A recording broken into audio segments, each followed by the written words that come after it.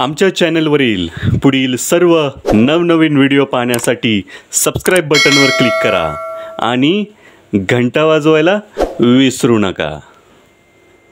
कल्पना खूप छान आहे सर तुमची. म्हणजे असं एकदम टेरिसवरती तुम्ही केलेलं आहे ना?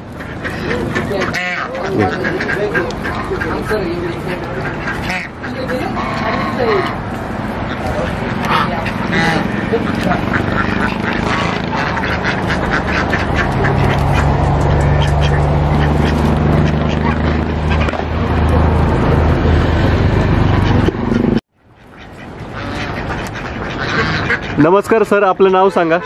नमस्ते माझं नाव अमोल बडदे. हं. राहणारा मुक्काम पोस्ट दिवळे तालुका भोर जिल्हा पुणे. ओके. अ, सर हे नक्की कोणतं पालन तुम्ही केलेलं आहे? हे बदक पालन आहे. हा. हे येतं कुक्कुट पालनामध्ये येते. ओके. म्हणजे कुक्कुट पालनामध्ये तुम्ही बदक पालन केलेलं आहे. बदक पालन केले ओके. अ, सर किती वर्षापासून तुम्ही हे पालन करताय हे बदक पालन? साधारणतः मला सात ते आठ वर्ष झाली. सात ते आठ वर्ष झाली. हे पालन. ओके.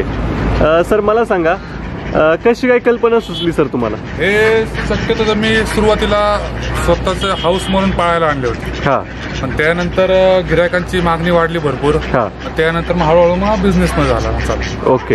अ, सर हे बदक पालन नक्की क- काय त्याची म्हणजे मागणी कशासाठी आहे ग्राहकांची? मागणी शक्यतो खायस खाण्यासाठी पण मागणी असते. हा. पाळण्यासाठी मागणी असते. हा. अंड्यासाठी मागणी असते. ओके.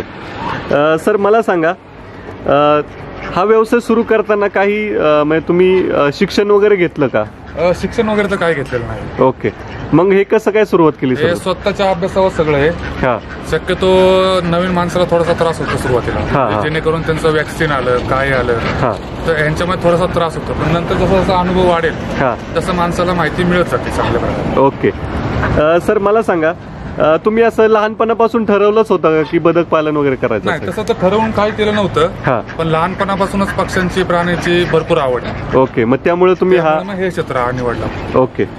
अ, सर मला सांगा अ, ग्राहकांची आता कशाला मागणी आहे या पक्ष्यांच्या बाबतीत? अ, ग्राहकांची जास्त करून तर ऐंशी टक्के मला पाळ पाळण्यासाठीच पाळण्यासाठी पाळण्यासाठीच. ओके. आणि दहा टक्के ते वीस टक्के खाण्यासाठी आणि अंड्यांसाठी. अंड्यांसाठी. अंड्यांसाठी. ओके.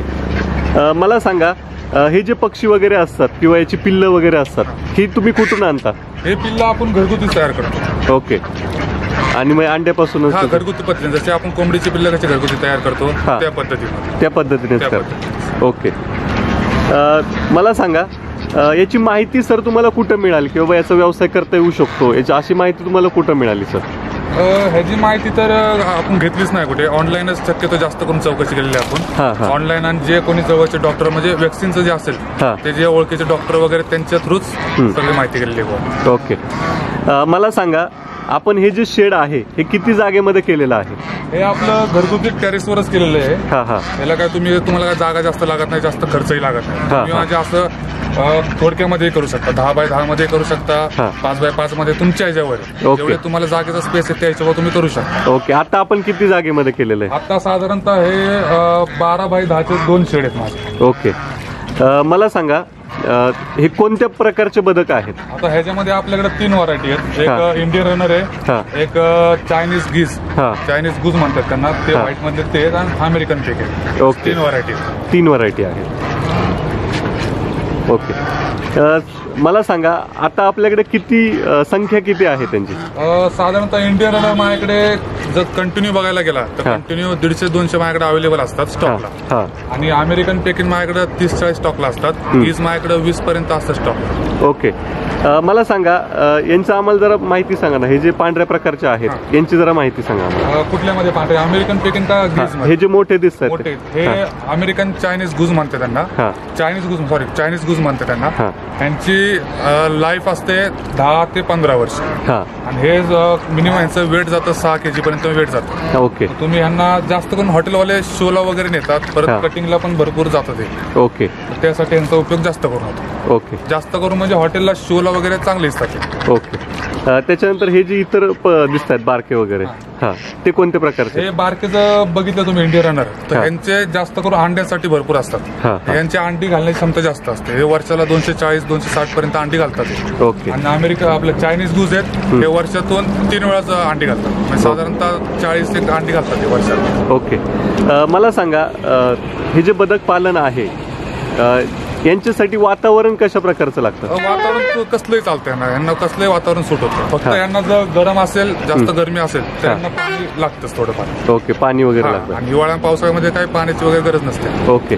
आणि ब्रिडिंगसाठी यांना पाणी लागतं कारण की यांची मीटिंग वगैरे पाण्यामध्ये होतं. पाण्यामध्येच होतं. ओके. मला सांगा हे जे पक्षी आहेत बदक तर यांचं तुम्ही वॅक्सिनेशन म्हणजे ज्यावेळी ती लहान असतात तर काय वॅक्सिनेशन वगैरे करावं लागतं का त्यांना? लहानपणी त्यांना वॅक्सिनेशन करायला लागतं. हां. जे कुठलीही तुम्ही व्हरायटी घ्या ह्याच्यामधली कुठली. हां. हे एक महिन्यात झाले की यांना डक्स वॅक्सिनेशन म्हणून येतं एक. हा. डक डिसीज म्हणून एक वॅक्सिन हा. येतं ते करायला लागतं. नंतर तीन महिन्यानंतर तीन महिन्याचे पिल्लं झाले. हा. त्यानंतर तुम्ही लासोटा कंटिन्यू देऊ शकता मग. महिन्या. महिन्यात दोन दोन महिने लासोटा देऊ शकता हां. हे आपल्या भागामध्ये. ओके. कारण म्हणजे की बोर आपल्या भाग भागामध्ये तेवढंच वॅक्सिन अवेलेबल होतं. ओके. अ, मला सांगा अ, यांची वाढ किती दिवसांनी होते? अंडी देणे युक्त कशा पिल्लू आज जर जन्मलं हां. तर ते प्रॉपर त्यांची ग्रोथ साडेतीन महिन्यामध्ये चार महिन्यामध्ये प्रॉपर ग्रोथ होते त्यांची. हां हां. आणि त्याच्या पुढे अंडी पाच ते साडेपाच महिन्याच्या पुढे अंडी घ्यायला चालू करा तुम्ही कुठली ब्रीड घ्या? हा. ग्रीसची ब्रीड घ्या नाही तर मग इंडियन रनरची ब्रीड घ्या. त्यांचं एक ब्रीड सेम असतं. ओके. अ, आता यांचं लाईफ किती असतं सर?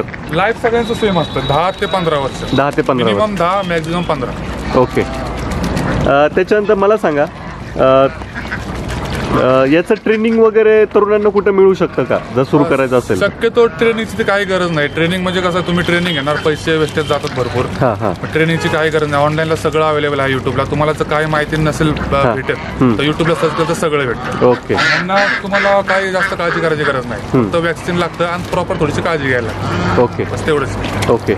यांना खाद्य कोणत्या प्रकारचं लागतं काय खाद्य आपलं जे रेग्युलर तुम्ही कोंबडींना घालता हा. ते. तुम्ही धान्य घालू शकता. जर धान्य जरी अफोर्ड नाही होत तर तुम्ही आपलं गवत पाला वगैरे बाहेरून गोळा करून ते त्यांना टाकू शकता. घरातलं चपाती भात आपलं शिळं वगैरे राहतं हा. थोडंफार ते तुम्ही घालू शकता. चालू शकतं. ओके. यांना असं म्हणजे मुक्त कोंबड्यांना जसं आपण मुक्त वगैरे सोडतो तसं तस- तसंही करू शकता. करू. उलट बेस्ट असतं. ओके.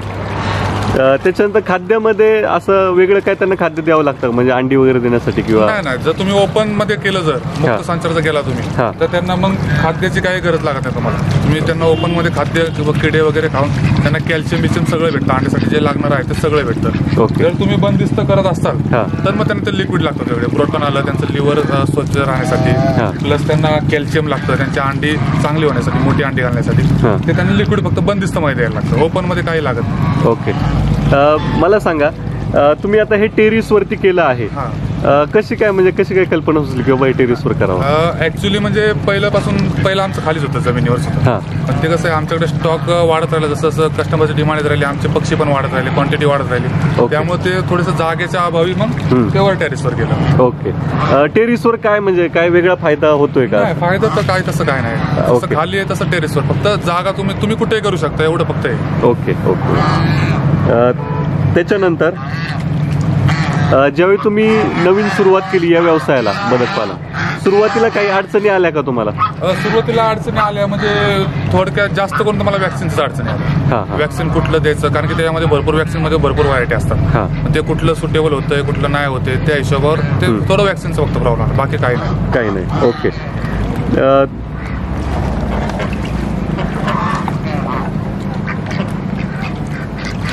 हा व्यवसाय सुरू करण्यासाठी कोणत्या कोणत्या बाबींची आवश्यकता असते सुरुवातीला? सुरुवातीला म्हणजे तरी तर फक्त थोडी जागा पाहिजे. बस. स्वतःची जागा स्वतःची जागा थोडी पाहिजे. ओके पाणी वगैरे काय? पाणी पाणी एवढं त्यांना लागत नाही. तुम्ही जरी रेग्युलर त्यांना एक टब जरी ठेवला ना हा. तरी त्यांना तो पुष्कळ होतो. Okay okay. आता तुमच्या तुम्ही क्वांटिटीवर आहे. तुमची जेवढी क्वांटिटी असेल त्या हिशोबाने त्यांना थोडं पाणी लागेलच. ओके. आता तुम्ही कसं केलेलं आहे? तर नियोजन कसं केलेलं आहे त्यांना? नियोजन म्हणजे आपण असं केलेलं हा. आहे हे. आता त्यांना आंघोळीसाठी पिण्यासाठी हे त्यांना पाणी केलेलं आहे. हां हां. मोटर बंद करतो. त्यांना आंघोळीसाठी पाणी प्यायला हे केलेलं. आहे इकडे वेगळं सेक्शन केलेलं आहे त्यांना अंडी देण्यासाठी. आता दिवसभर आम्ही इथं ठेवतो त्यांना आंघोळी वगैरे इथं. करतात. संध्याकाळ झाली त्यांचा एक अंड्याचा टाइम असतो मॉर्निंगचा त्यामुळे त्यांना संध्याकाळी सहा वाजले फिडिंग तिकडे. असतं. फिडिंग केलं की तिथे बॉक्स सेटअप केलेला सगळा त्यांना अंडी. देण्यासाठी. ओके असं पाटे पाटे तिथे अंडी देतात. अंडी देऊन झाली की मग सकाळी त्यांना नऊ दहाच्या प्लेटमध्ये परत इकडे जातात. ओके मग परत एक दिवसभर इकडे. ओके डेली रुटीन कसं असतं तुमचं याचं? कसं गेले डेली रुटीन कसं तुम्ही म्हणजे स्वच्छता वगैरे? माझं स्वतःच. हां याच्या बाबतीत. त्याच्या बाबतीत. त्याच्या बाबतीत अं, दिवसभर तर लागत नाही मला. मला सकाळी फक्त एक तास हा. संध्याकाळी फक्त अर्धा तास लागतो मला. एक ओके. तास म्हणजे फक्त थोडंसं दोन काढा लागतात टेरिसवर आहे म्हणल्यावर. थोडं दोन काढा लागतं मला एक तासभर. हा. आणि संध्याकाळी फक्त त्यांना फिडिंग करायला लागतं बस. ओके. एवढंच एवढंच माझं काम असतं दिवस ओके. अ, त्याच्यानंतर अ, याची तुम्ही विक्री व्यवस्था कशी केलेली आहे? अं, विक्री व्यवस्था सध्या ऑनलाईनला पण आहे आपलं. युट्यूबला वगैरे चालू आहे सध्या. हां. अं, म्हणजे आता स्टार्टअप केलेलं आहे हा, युट्यूबचं हा. अजून एवढा ग्रोथ नाही पण हळूहळू होतोय ग्रोथ हां.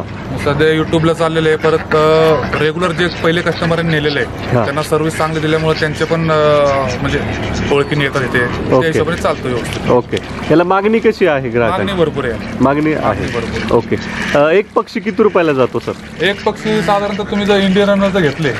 तर हा जातो चारशे रुपयाला एक जातो. हां. तुम्ही जर रिटेलला जर आता होलसेलचे रेट वेगळे असतात. हा. तुम्हाला मी रिटेलचा रेट सांगतो. हां. जर अमेरिकन पेकिंग घेतले तर हे तीन साडेतीन पर्यंत पेर जाते. हां हां. आणि जर चायनीज गुज घेतले.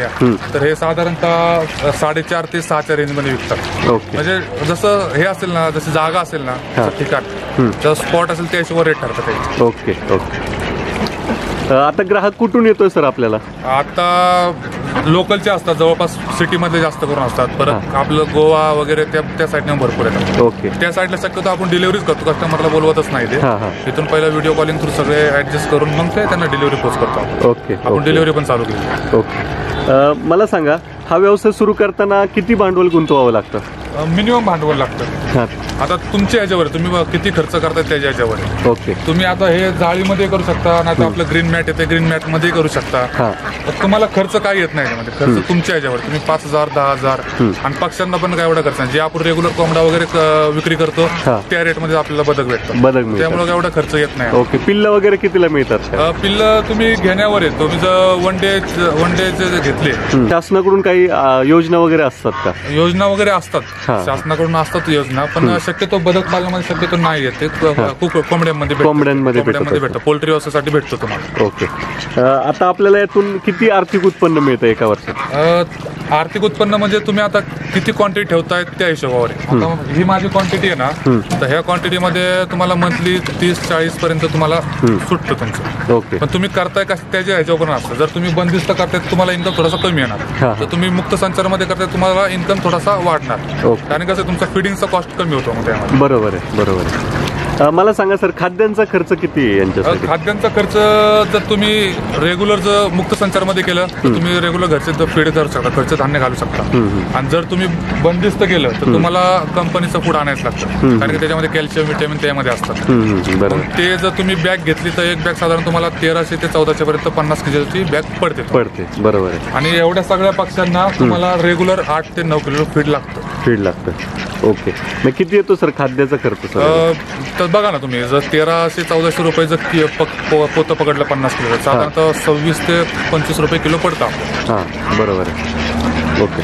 म्हणजे या हिशोबाने खर्च येतो बंदिस्त केलं तर तुम्हाला एवढा कॉस्ट पडतो. जर मुक्त संचार केला तर तुम्ही रेग्युलर आपलं घरचं घालू शकता. ओके तुम्हाला कॉस्टिंग कमी येते बरोबर. सर मला सांगा नवीन तरुणांना आता मार्केटमध्ये जर आपण पाहिलं तर रोजगार वगैरे नाही आहेत मग अशा तरुणांना तुम्ही काय सांगताल व्यवसायात अ, मी तर म्हणतो आता कंपनीच्या मागे पळूच नका. त्यामध्ये काय अर्थ राहिला नाही बरोबर. दहा हजारची नोकरी करणं आठ तासामध्ये ते उपयोग नाही. उपयोग नाही. तुम्ही धंदा करा. तुम्हाला कधी लॉस बी होईल पण तुम्हाला प्रॉफिट पण होईल. तुम्हाला बरोबर. जसा अनुभव येत राहील तसं तुम्हाला तुमचं प्रॉफिटचं रेंज वाढत जाईल. बरोबर आहे, बरोबर. अ, आणि कंपनीपेक्षा धंदा बेस्ट आहे. बेस्ट आहे अगदी अगदी अगदी. कारण की आम्ही केलेलं त्यामुळे हा आमच्या अनुभवाने तुम्हाला सांगतो. अगदी तुम्ही अगदी. सुरुवातीला करताल थोडंसं करताल परत बाबा नाही प्रॉफिट नाही. असं कधी प्रॉफिट कोणाला होतच हा, नाही. तुम्ही थोडीशी सुरुवात करा हळूहळू तुम्हाला अनुभव येतील तुम्हाला मग तुमचं सप्लायर वाढतील तुम्ही तुमचे कस्टमर वाढतील तुम्हाला ऑर्डर वाढतील. बरोबर त्या. हिशोबाने तुम्हाला फायदा प्रॉफिट वाढत जातो. बरोबर तुम्हाला कंपनी सारखं नाही बाबा आठ हजार पगार आहे, आठ हजार पगारामध्येच काम करायचं. तसं नाही. बरोबर आहे बरोबर. तुमचा इन्कम इथे हळूहळू वाढत जाणार. अगदी अगदी. धन्यवाद सर आपण दिलेल्या माहितीबद्दल.